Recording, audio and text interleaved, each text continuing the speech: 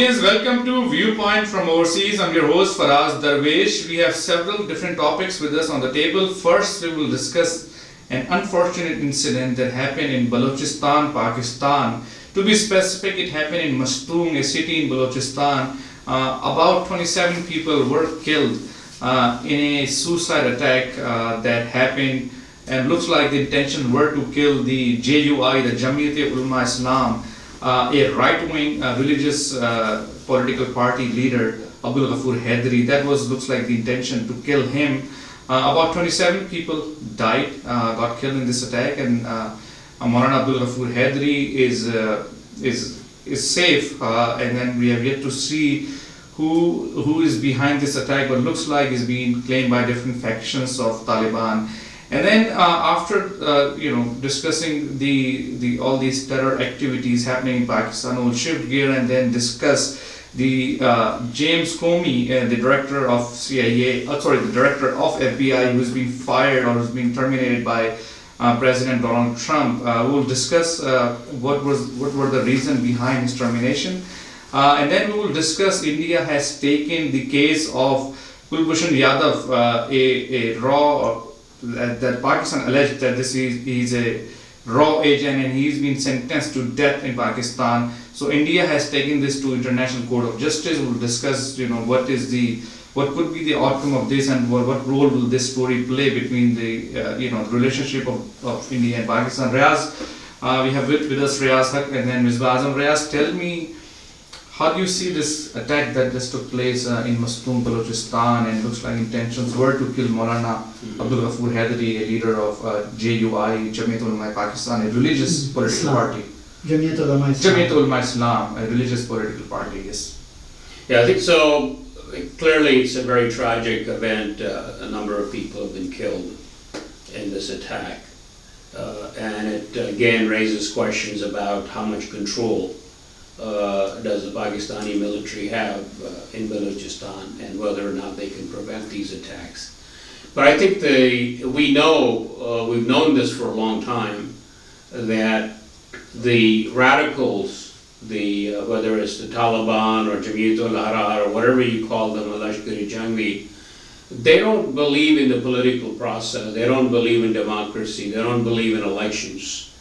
And they have been targeting all of the parties whether right or left or whoever, who participate in the political process because they think that this political process itself right. uh, is anti-Islamic, is un-Islamic. So in the in the prior instances, there have been several attacks on uh, uh, the leader of uh, JUI, the top leader, Maulana Fazlur Rahman. He has been targeted, right. Uh, and he has survived several attacks on him. And uh, we know that prior to that, the Jamaat Islami chief. Right. Uh, Hussain Ahmed was also. He was also. So now, but but it is important to note that all these parties were known as pro-Taliban parties. I mean, JUI, Jamiatul Islam, Jamaat Islami, their leaders have been attacked and the responsibility being claimed by Taliban. But all these parties were pretty pro-Taliban. They were su- supporting uh, any you know negotiation with Taliban. They opposed any military operation against Taliban. So it is kind of you know, when I look at it, these guys are supposed to be Taliban sympathizers. Yeah, so I think what they do is they try to straddle uh, the divide. You know, they want to be friends, obviously, with the political process, with the other parties in Pakistan at the same time. They want to represent the interests of the, of the right and the far right. And apparently that's not good enough for them because these organizations are too radical to accept any kind of a compromise in right. terms of political process. So is it not fair to conclude that you know you can't have any negotiation with these people? It's, it's pretty obvious. It's been obvious for a long time uh, that. Yeah. But I think the the problem that these parties have is some of their base agrees with that extreme interpretation. The base of of these uh, parties, religious parties like Jamaat Islam, right, right. Islam. So they they right. do it to try and placate their own try to appease their constituents. Exactly. Right. Exactly. Ms. Baran. yeah, and that is very true. that uh, even uh, see, the, like uh, Jamiat Ulama Islam is the biggest religious party who, which is in the parliament and uh, right. in the political system. And uh, sometime, and always, like Riaz say, always they are kind of supportive to these uh, to Taliban, Taliban and right, uh, right, this thing. Recently, is um, not quite. Recently, and they are very anti-West They are anti-West, uh, uh, Right. of course, but, but you know, let's not talk about that because that is kind of given that you Right. know, the supporter of Taliban. Actually, neither side trusts them. The prob, that's the That's problem. true, that- that's true. That the, the people who are on the left think that these guys are representative of Taliban. The Right. Taliban on the other end thinks that these guys are not being honest with us. Yeah, and, and there is uh, there is a myth nobody knows that it is true or not that Maulana Fazlur Rahman once uh, told the U.S. ambassador, probably Mr. uh, Munter or somebody, that you guys tried for so long time the clean shaved people now try the people like me with a beard and mustache. Oh yeah, no, I mean the Musharraf Yeah. has revealed that Maulana Fazlur In his Rahman, who's book. been a supporter of Taliban, Yeah. went to Pervez Musharraf and requested him to allow him to become a prime minister of Pakistan. Yes, and he said yes, he will be very soft. after 2002 And he, he, he could try to convince Yeah. Pervez Musharraf that I will be very soft on America and West. Yeah, and besides, uh, some So I think that that's the problem, Yeah. that neither side trusts them. That's Right. true. Some time ago, Maulana Fazlur Rahman, he gave this statement and he told these Talibans that this taking the gun and killing people, this concept is obsolete now. Why don't you come join us, our party, and then Become part of political yeah, system, part- right. become part of political system. And uh, uh, I personally believe that there something like that could be the reason that uh, Fazlur Rahman's party was attacked. Especially uh, So then, then there could be working. Why were you then against Ahsanullah Ahsan's interview? no, right? Ihsanullah Ihsan is a terrorist. Come on. Why not? I mean, if you want those guys to break No, no, I don't Taliban want, no, and then no, join no, the political no. system. No, no, see the Taliban versus the terrorist. I mean, the thing is that that there are a lot of people.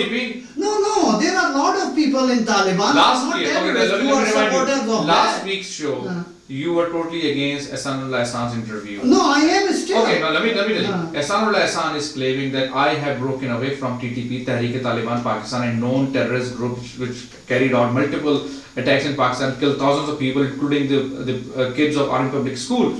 You were saying that we should try him and we should you know bring him to the court of justice and punish him to the worst punishment possible. And you are not supportive of you know him giving an interview on on, on TV. And I still say that. He killed But his rationale is now I have who cares? I have got it I on the right path. I I've got it I on the so on many people. Mustaqim. I kill so many people and I come to you after I get weaker. I come to you and I say that okay, fine. I am uh, kind of So- telling that I was so- wrong so before. you're saying- you're no. Okay. Uh, uh, please do hmm. not give any credit, at least in front of No, no, me. no, no, to no. Ehsanullah. Ahsan is a terrorist. Yes, that's true. So do, do you What- want people to break away from TTP group? See, okay, now you are putting words in my mouth, okay? You are saying that I, I want something. I am saying Fazlur Rahman gave an statement. Okay. This statement which could be the cause of Okay. attack on him. That's what only I said. Okay, you are I did not not say it is very good, it is very nice and he should be doing that and they should. And second thing is that there are a lot of people who are not terrorists but they are supportive of these people. I mean, these kind of Taliban factions. They are that. Yeah, that's true. They could uh, get into the system, you know. So, Okay. uh, so, but, uh, but, but I personally believe, as Riaz says, that it is now very clear that you cannot do anything with these You people. mean you cannot They are negotiate? very War hardened, yeah, that's true. They cannot live without fighting wars, and it's a war But what do you do with the, with the sympathizers? Sympathizers, see, okay. They are very vulnerable. They could become next Taliban. Yeah, see, that's a problem. So if you, if you clearly, see, like uh, General, uh, General Amjad Shoaib um, uh, on TV today was saying, very nice thing he was saying. He said that, first of all, we have to accept and agree and find out that A, these people are among us who are these terrorists, and B, who are these people who are among us, that who are supporting them. And once we do the crackdown on them, then uh, this problem will be uh, kind of a sewage. Right. you so know, what you are saying, basically order. what he's saying, and I've always promoted that we have to bring clarity to the table. That's that these true. people belong to Pakistan. Yeah. They could be used by RAW, Mossad, See, whoever. General I don't care. Musharraf- General what, what I am saying, yeah. these people are within the, Yeah. the ideology and the people are within Pakistan. Yeah, General Musharraf wrote very good thing in his book, if you read it. He talked about In the the, corruption in the line of fire. He said about the corruption, he said, and I think that pretty much goes for terrorism also. He say that most of the people, uh, there is a big part of the people, they are neither corrupt nor good. 10% people are very corrupt, do whatever they have to do corruption. Other 10% do whatever they will never do corruption, whatever, right? So, who are in power, who are more famous those days, kind of uh, make other 80% people to move that direction. So if you somehow control those big corrupt people, confine them, then those 80% will not follow that. You know, 80% will go to the. No, this is what Imran Khan says what- too. This what, maybe he said, but I, I did not hear hear him saying that, but I read it in Musharraf's book. I, I like this, uh, and he's right about it. Probably the same Basically, what he's saying, you, goes you, for you, terrorism you, you remove corruption at the high level.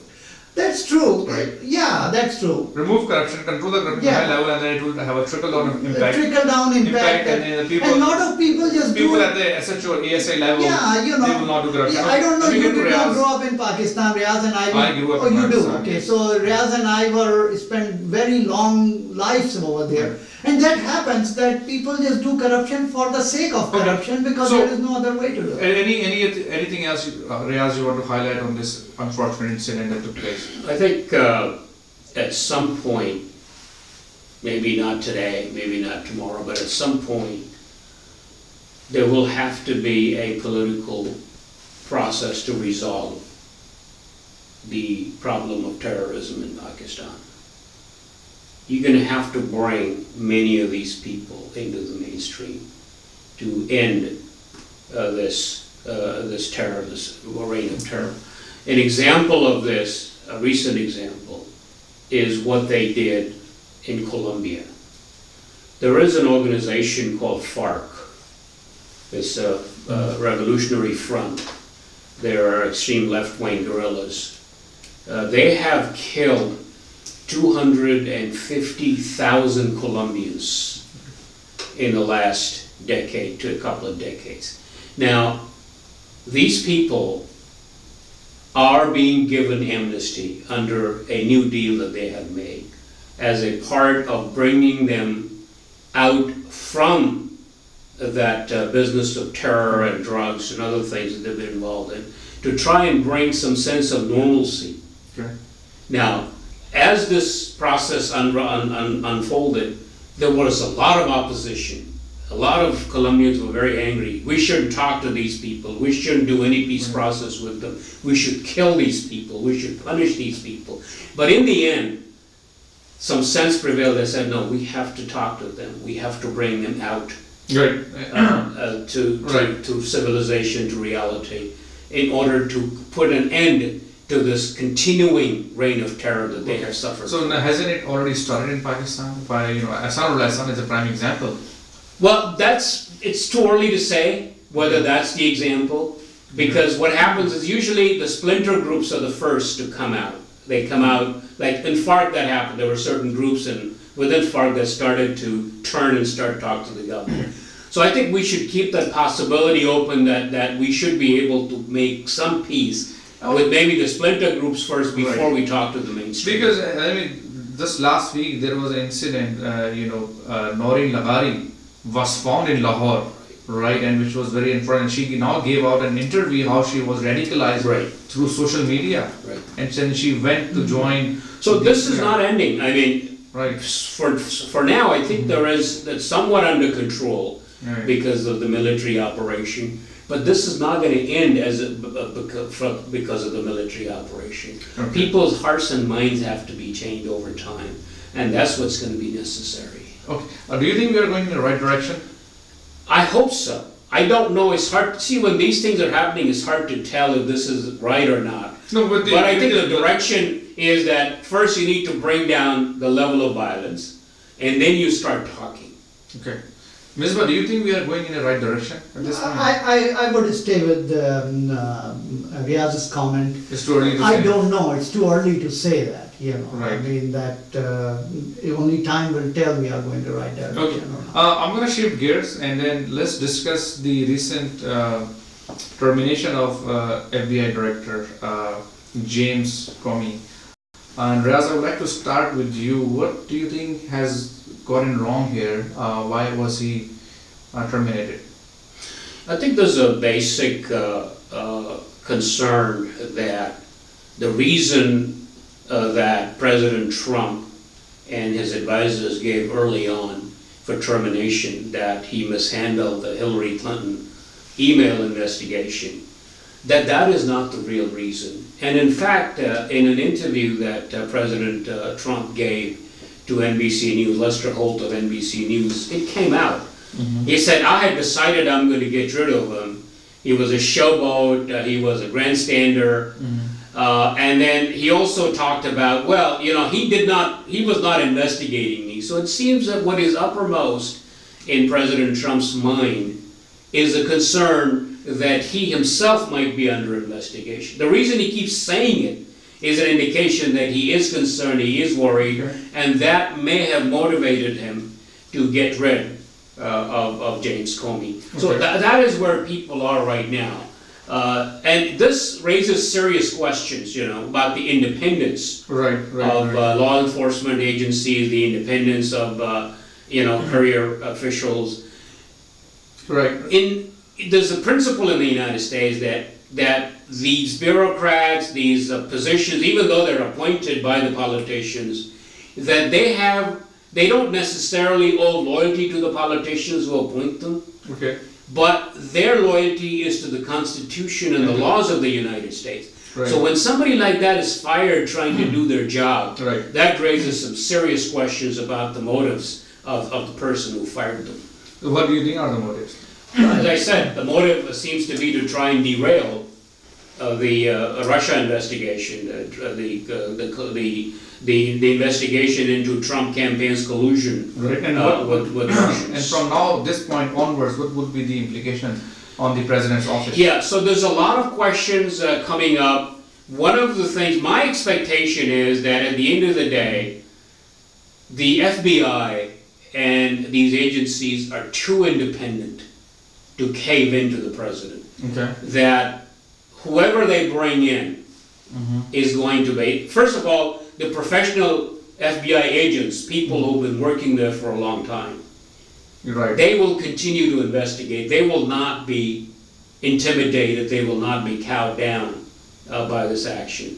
And whoever they bring in Right. will have to go through, you know, a vetting process. And they, anybody that there is suspicion might be favorable to Trump Right. is probably not going to get confirmed. So I'm still hopeful uh, that this action by the president will not derail, they may delay this investigation Right. somewhat because of change of personnel. However, it will not derail this, it will continue, and they will find out, they will get to the bottom of Right. whether or not the Trump campaign colluded with the Russians. Misbah.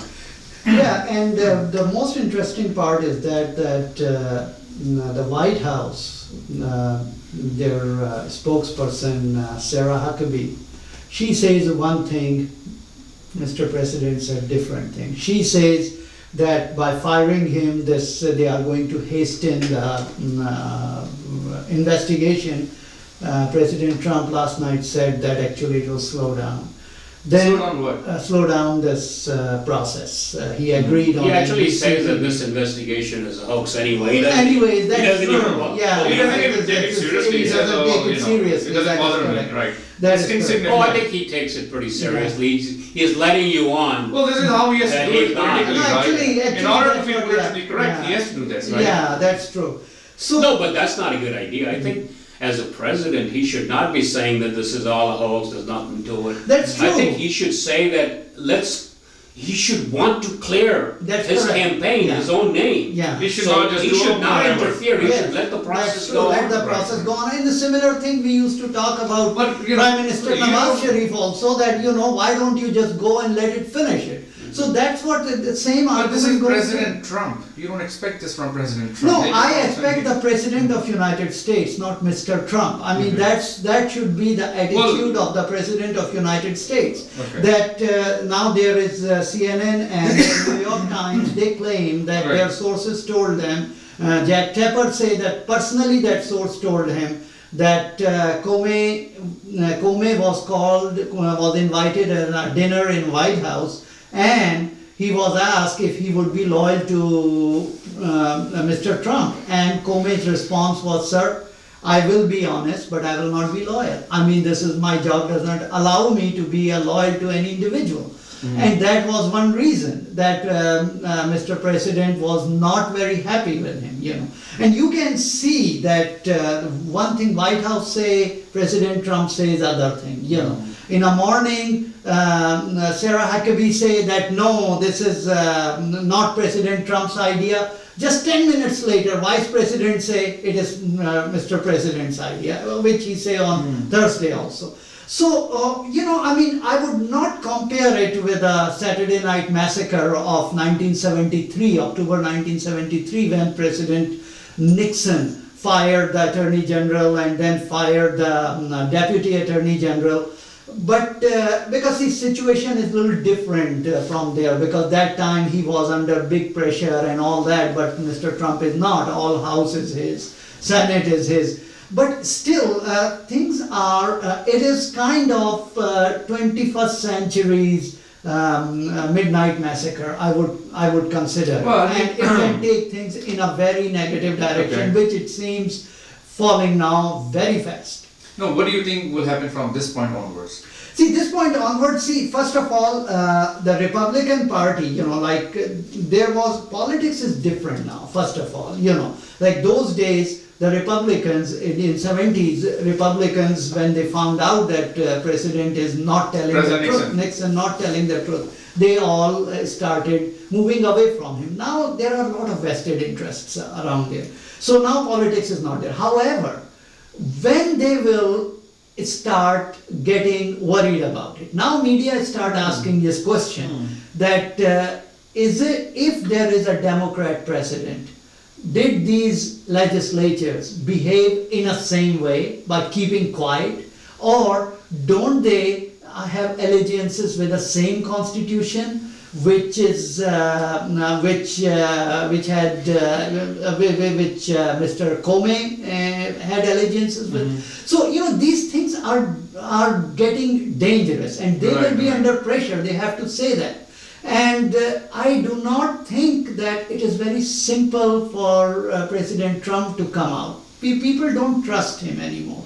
People, uh, it, there are so many hot airs, uh, so many mm, smoke screens were created from January 20th to this day in a lot of different Right. ways that people have no trust in him. And it is very bad for the administration. So let's see that to what extent this thing can go and to what extent this investigation Right, comes okay. out and uh, how things. Riaz, would you like to add anything to this? uh? Yeah, I think uh, at this point, I think the impeachment of President Trump is a distinct possibility. But it's not going to happen as long as Republicans hold both the House and the Senate majorities. Okay. Because they will not want to impeach their own party's president.